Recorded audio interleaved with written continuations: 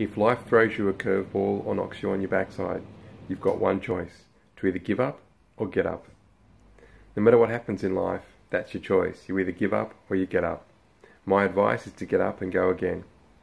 Because we're meant to stumble, we're meant to make mistakes. It's all about how we learn and grow. You know, we never, when we were born, we didn't even know how to crawl, and now we walk, run, jump, and skip, and everything else. So, if you do tumble, you have the choice to either give up or get up. Hopefully you get up. No matter what happens, you get up and you go again. Have an awesome day. This is Ross signing off for your daily inspiration.